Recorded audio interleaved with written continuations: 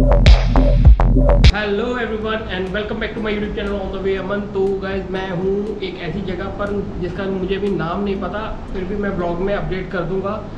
Actually कल मैं केरला से चला था और केरला क्रॉस करते हुए कर्नाटका में एंटर कर गया। टोटल 320 बाईस किलोमीटर मैं राइड कर चुका था तो मुझे होटल लेना पड़ा। गर्मी बहुत ज़्यादा थी और फिर मन भी नहीं किया कल राइड करने का।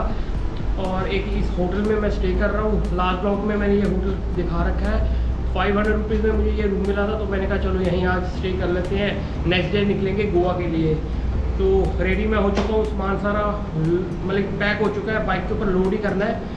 और यहाँ से गोवा का जो डिस्टेंस है, वो 255 किलोमीटर्स है।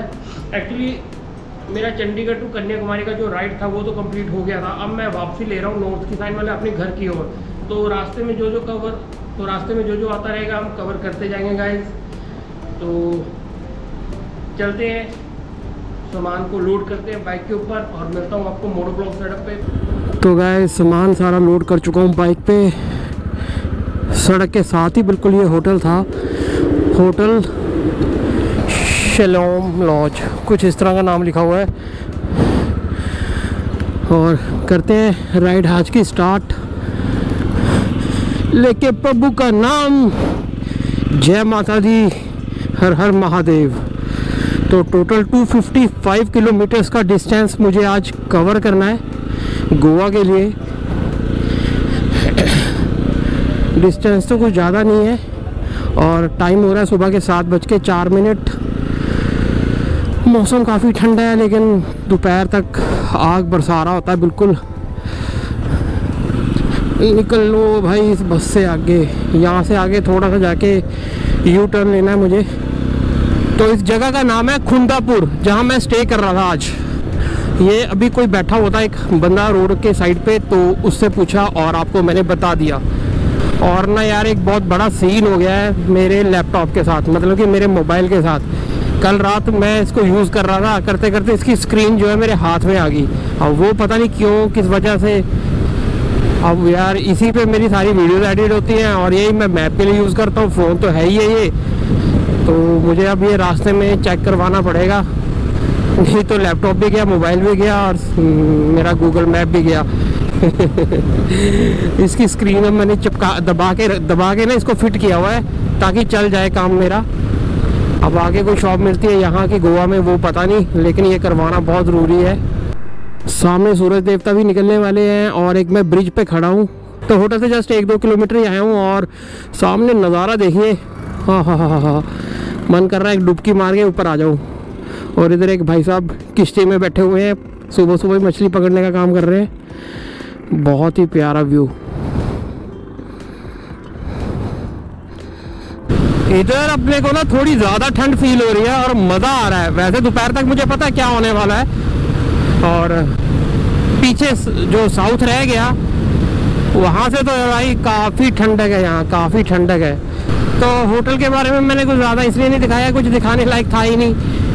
मतलब कि रोड साइड पे एक बना हुआ था इमरजेंसी में मैं रुक गया। इमरजेंसी तो क्या ही, बस राइड नहीं हो पा रही थी मेरे से। दोपहर में गर्मी की वजह से और आजकल क्या हो रहा है कि बस रूम में जाते ही ना जब राइड ख़त्म होती है, एक तो स्वेटिंग इतनी आई होती है, थकान इतनी होती है, गर्मी लग रही होती है मतलब ये होता है कि सब कुछ मतलब कि जो पैंट रखा ना, खोल के साइड पे रख दूँ। तो फिर ब्लॉग एंड नहीं कर पाता। सोचता हूँ शाम को करूँगा, थोड़ा रात को करूँगा, फिर सुबह आ जाती है, फिर सुबह ब्लॉग एंड करता हूँ। वो भी नींद में। और कम से कम अभी भी मेरा जो घर का डिस्टेंस है, अगर गोवा से देखा जाए तो 2100 किलोमीटर और यहाँ से तेईस, चौबीस किलोमीटर है। काफ़ी दूर पड़ा है अभी अपना घर।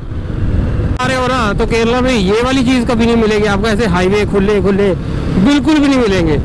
और आने वाले एक दो सालों में शायद मिल जाए क्योंकि वहाँ फ्लाईओवर का काम चल रहा है, काफ़ी चल रहा है। और तब मिल सकता है। अभी फ़िलहाल के लिए तो भूल जाओ। अभी तो भाई ट्रैफ़िक और सिंगल रोड ओ भाई साहब, गोवा जाने की क्या ज़रूरत है? पहले यार एक बात बताओ। जब यही सब कुछ है, क्या बात है? भाई शब्द नहीं है कहने के लिए। सुबह सुबह का टाइम और इतनी प्यारी लोकेशन और वो भी अपने समंदर के साथ। छोटी छोटी बोट्स नज़र आ रही हैं। टू गुड यार।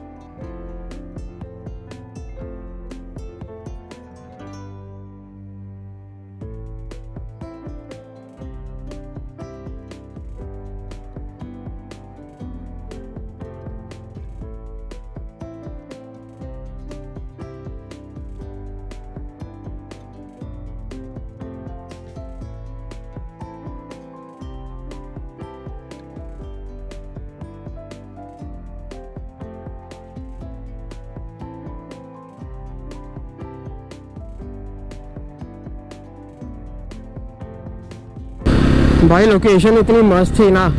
रुक कर ड्रोन शॉट लेने ही पड़े मेरे को। और वो भी सुबह सुबह। नहीं तो मैं दोपहर में जाके लेता हूँ। और कल भी मैं ड्रोन शॉट लेना चाहता था लास्ट कल वाले ब्लॉग में, लेकिन भाई साहब, इतनी गर्मी, तैतीस डिग्री सेल्सियस भाई, मेरे लिए तो बहुत ज़्यादा है। और मैं भाई, कम से कम पाँच छः जगह रुका ड्रोन शॉट लेने लेकिन भाई, गर्मी ने मेरे को शॉट लेने नहीं दिया।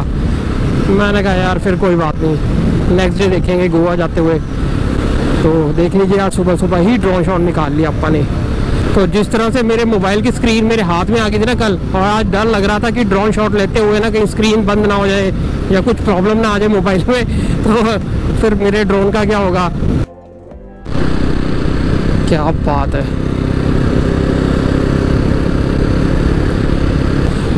गोवा तो जा रहे हैं, लेकिन नो आइडिया कि कहाँ स्टे करना है। एक्चुअली वहाँ, काफ़ी सारे घूमने की प्लेसेस हैं बीचेस बहुत ज़्यादा हैं, बहुत जगह है वहाँ पे घूमने के लिए।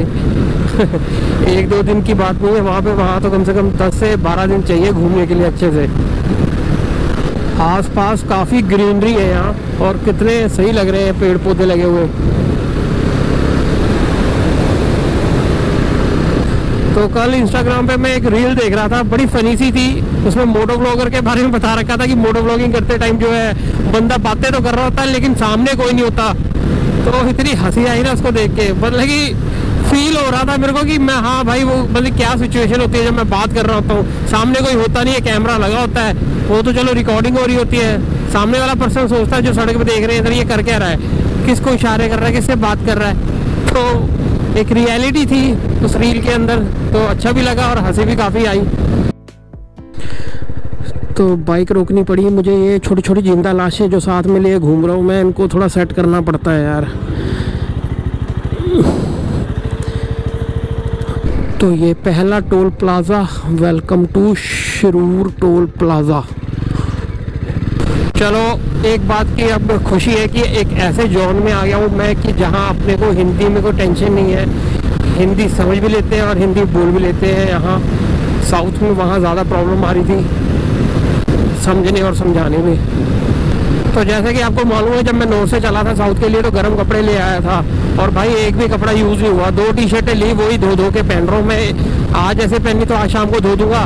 वो सूख जाएगी कल तक। और जो साथ में हुए, वो मैं नेक्स्ट डे के लिए पहन लूँगा। तो डेली टी शर्ट धो रहा हूँ और डेली पहन रहा हूँ, ये हाल है।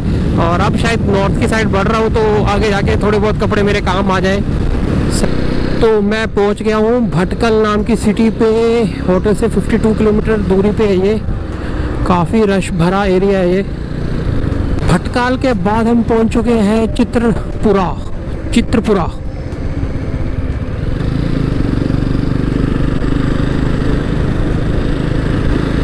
ये इतना सा पैच काफ़ी अच्छा लगा। ऐसे लग रहा है कटिंग कर रखी है पहाड़ पे पेड़ों की।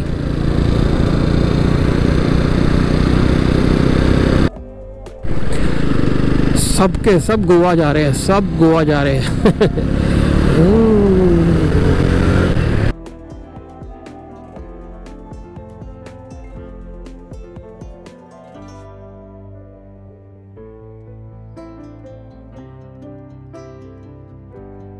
बड़ा गानी है बड़गानी रिवर कुछ ऐसा नाम है इसका। तो राइट एंड लेफ़्ट साइड काफ़ी सजावट की हुई है स्ट्रीट लाइट्स पे। अब ये पता नहीं किस वजह से, पर काफ़ी अच्छा लग रहा है। आई थिंक ये टेंपल है, यहाँ कोई। तो इस राइड पे मैंने काफ़ी सारी स्टेट की गाड़ियों के नंबर देख लिए, जैसे कि एच पी चंडीगढ़ पीबी ये तो अपने नॉर्थ के हैं लोकल ही है मतलब उस साइड के। फिर मैंने देखे M H Andhra Pradesh A P K A Karnataka के एल केरला तेलंगाना का टी एल लिखा हुआ था टी एस कुछ ऐसा लिखा हुआ था। और और भी एक आया था। मुंबई का मैं बता चुका हूँ, महाराष्ट्र का एम एच और कल मैंने एक गोवा का देखा जो कि पहली बार देखा। मैंने लाइफ में कभी भी नंबर नहीं देखा था गोवा का। तो उसके आगे जी ए लिखा हुआ था जी ए तो बड़ी खुशी हुई यार ये नंबर मैंने पहले सोचा भी कि यार ये कहाँ का नंबर है? फिर मैंने सोचा, यार मैं तो गोवा जा रहा हूँ तो गोवा का ही होगा।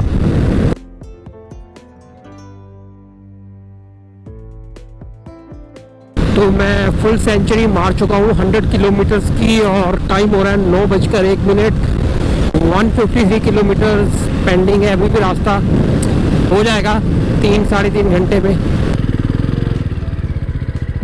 तो पेट्रोल मैंने इसलिए भरवा लिया कि मेरा मोबाइल बंद ना हो जाए और गोवा भी ना पहुंचूं। तो गोवा तक की टेंशन नहीं है अब। मार्केट तो वहाँ मिल ही जाएगी, कुछ ना कुछ तो अरेंजमेंट हो ही जाएगा मोबाइल को ठीक करवाने के लिए।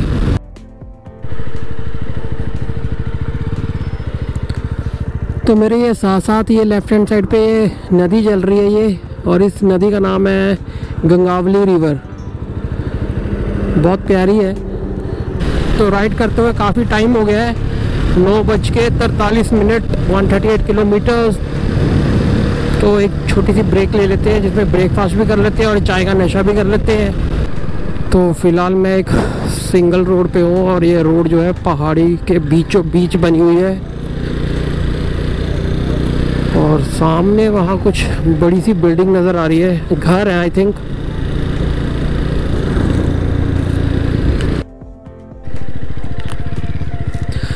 तो ये एक जगह मिली है खाने के लिए। यहीं रुक कर कुछ खा पी लेते हैं और फिर चलते हैं आगे की ओर। तो फाइनली गाइज़ मैं पहुँच चुका हूँ चंडिया नाम की जगह पे और ब्रेकफास्ट करने के लिए रुका था। एक चाय का ऑर्डर दिया है और साथ में एक डोसा का।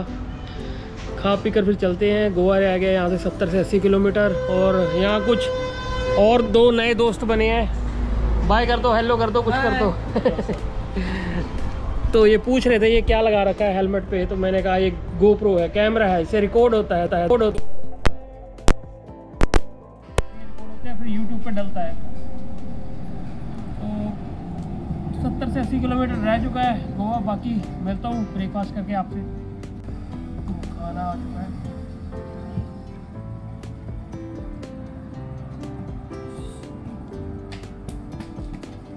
वो खाना खा लिया है, खाना खाता रहा और ये जब तक खाना खाता रहा, ये मेरे पास ही बैठी रही, एक और थी, दो थी।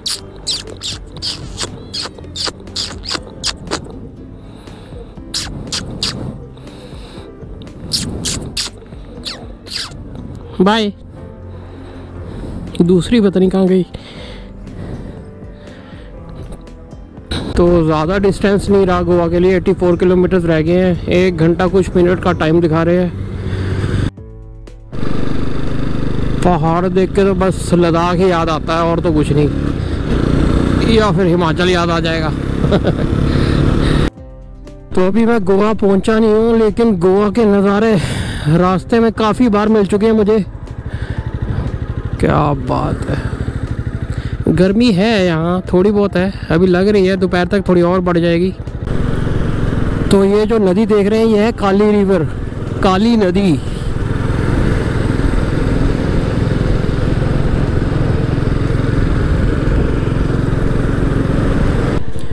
तो जस्ट गोप्रो को चार्ज करने के लिए मैं रुका था। और नीचे यहाँ ए आर लिखा हुआ है। मतलब कि मेरा नाम अमन। राणा।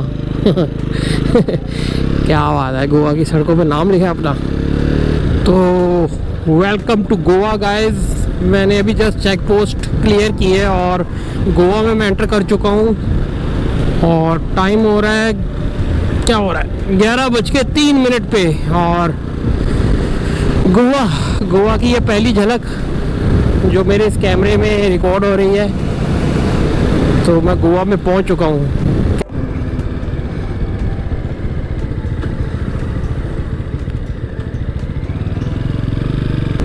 तो जैसे कि आपको मालूम है कि मैं साउथ की ओर से आ रहा हूँ तो ये जो आप गोवा देख रहे हैं, ये भी साउथ गोवा ही है गाइज़ और साउथ गोवा, मैं सोच रहा हूँ पहले साउथ गोवा को देख लिया जाए अच्छे से।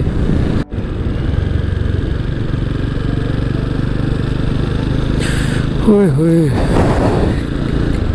गलगी बाग, ब्रिज, क्या बात है।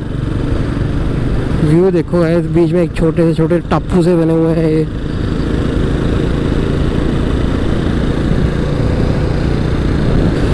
ये सब बीचीज की तरफ़ ही जा रहे हैं।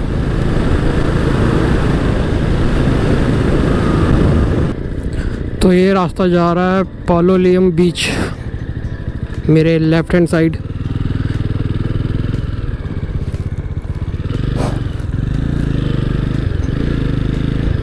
अरे भैया ये तो पूरी स्पीड से आ रहा है। जितना नज़दीक जाएगा तो उतना महँगा हो जाएगा। जितना नज़दीक जाऊँगा उतना महँगा है। थोड़ा ओके। थोड़ा ए साइड में रहो। फिर भी थोड़ा आइडिया बता देंगे कितने तक का मिल सकता है? तो है हाँ भी बात करता है। Okay okay okay okay. Okay okay okay. मतलब ये साउथ गोवा है। ठीक है। Okay okay okay. है चलो ठीक है। Thank you very much sir मैं चंडीगढ़ से। Okay sir thank you very much है। ओके सर ओके आपके होते हैं सेफ़ ही है सर बिल्कुल। हाँ। जी ये तो है ये तो है। ओके सर ओके तो इन्होंने काफ़ी हेल्प की मेरे को गाइड करने में। जितना नज़दीक जाओगे बीचेस के उतना ही महँगा मिलेगा लेकिन सिटी में भी कौन सा सस्ता मिलेगा? और ये साउथ गोवा है गाइस एक तरह से। देखते हैं सिटी में जाके क्या रेट मिलता है। यहाँ तो रूम रेंट बहुत ज़्यादा है तीन साढ़े तीन हज़ार से नीचे तो है ही नहीं। सड़क पे बैठ के रात गुजारनी पड़ेगी लग रहा है मेरे को। बात थैंक यू वेरी मच ठीक है जी? कासा फीस्टा हाँ। हाँ हाँ हाँ हाँ। इधर से जाने का मैप तो मैंने डाल दिया मेरे को शो कर रहा है मैं थोड़ा हाँ हाँ कासा फीस्टा ठीक है। ठीक है।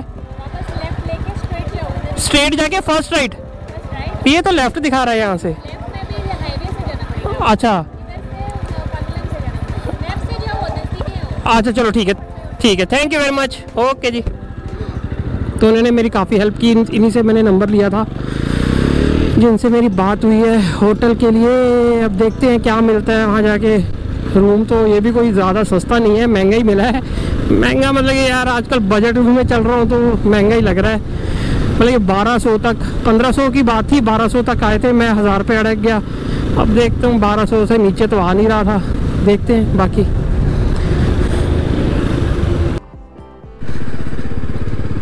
लोकेशन तो यही दिखा रहा है, बिल्कुल सी के पास दिखा रहा है। ये फॉरनर्स आ गए हैं। तो ये सर हैं, मेरे साथ जो मेरे रूम तक मुझे लेके जा रहे हैं। यहाँ जितने भी ये फॉरनर्स हैं या जो भी बाहर के, उन्होंने ये हायर कर रखी हैं ये गाड़ियाँ। और ये यहाँ यहाँ लगा कर चले जाते हैं। आ जा भाई, आजा।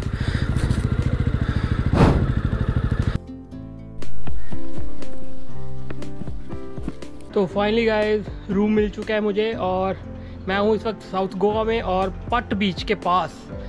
और सामने ही मेरे यहाँ बीच है। एक्चुअली फ्रंट व्यू जो है वो थोड़ा सा महँगा था और थोड़ा क्या, काफ़ी महँगा था। मैंने बैक साइड ले ली है थोड़ी उसकी। और सबसे मेन बात गाइज़ ये अपना बाइक यहाँ खड़ा है। क्या बात है। और ये हट वगैरह बनी हुई है बीच के पास। इधर भी हैं और कुछ इधर है। बीच में पेड़ है और अपना रूम यहाँ है गाइज़ दिखा देता हूँ, इससे पहले मैं होच पोच का डालूँ। तो ऐसा ये रूम मिला है मुझे। ये अपना सामान पड़ा है। और ये वॉशरूम है। नीट एंड क्लीन तो सबसे अच्छी बात तो ये है कि बाइक सामने है। हाँ। तो काफ़ी मशक्क़त करने के बाद ये चीज़ मिली है मेरे को और, क्या बताऊँ मैं। पसीने निकल गए हैं। ढूंढते ढूंढते एक्चुअली ना ये सीज़न चल रहा है तो काफ़ी कॉस्टली है यहाँ तो काफ़ी बातचीत करने के बाद ये मेरे को यहाँ रूम मिला है। और सबसे ख़ास बात ये है कि मैं तो हिमाचल का ही हूँ और जिनका ये होटल है ऑनर है, वो भी हिमाचल के हैं। और इत्तेफाक से वो भी राणा है और मेरी कास्ट भी जो है राणा ही है। वो भी राजपूत, हम भी राजपूत। तो ये भी बहुत अच्छी चीज़ हुई। गोवा में मैंने कभी सोचा नहीं था कि ऐसा कुछ हो जाएगा। तो चलो, एक प्यार सा बन जाता है ना, कि अपने ही कोई मिल गया यहाँ पे। वो भी हिमाचल का और वो भी राजपूत। चलो। तो ये रूम आपको कैसा लगा? ये ब्लॉग कैसा लगा आपको? बाकी आज और कल मैं यहीं हूँ और एक्सप्लोर करेंगे साउथ गोवा को। क्या क्या यहाँ है? क्योंकि नॉर्थ गोवा तो नहीं, मैं जाने वाला साउथ गोवा ही रहूँगा और यहाँ से फिर सीधा मैं घर के लिए वापसी लूँगा। ये मैं बता देता हूँ आपको और इस ब्लॉग को ज़्यादा नहीं खींचते क्योंकि और बहुत ज़्यादा लंबा हो चुका है। तो मिलता हूँ आपको एक नए दिन, नई राइड के साथ। तब तक के लिए गुड बाय